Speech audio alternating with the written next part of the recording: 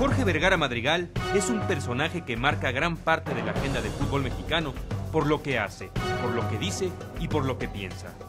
Tiene ocho años al frente de las Chivas y es un magnate que ha hecho fortuna produciendo vitaminas para los pobres, como él mismo ha definido su negocio. Vergara es un personaje que ilustra lo que podríamos definir como el sueño mexicano.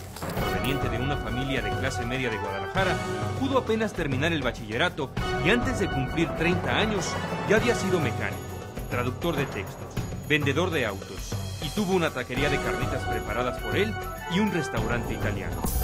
Entonces, llevaba media vida trabajando sin parar y pagó las consecuencias exponiendo su organismo al sobrepeso. Al buscar su propia salud, encontró la fórmula que lo hizo tener una de las 200 empresas más poderosas de México, con más de un millón de vendedores en el mundo.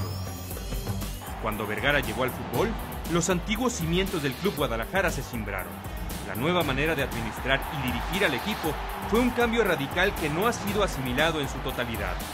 Y así, el club más popular de México se convirtió en una marca comercial expuesta al escrutinio nacional. El magnate habla, promete, se equivoca, pero siempre cumple. Sus formas estremecen y hasta escandalizan a los puritanos, pero despiertan curiosidad y simpatías en aquellos que comparten la idea de que el fútbol mexicano tiene estructuras vetustas y alejadas del ritmo que marca el espectáculo mundial. Jorge Vergara es un hombre convencido de ciertas ideas que lo hacen encontrar su propia paz. Su práctica del feng shui es evidente, así como su negativa a usar calcetines. Según su teoría, esas prendas corrompen el termostato de los pies.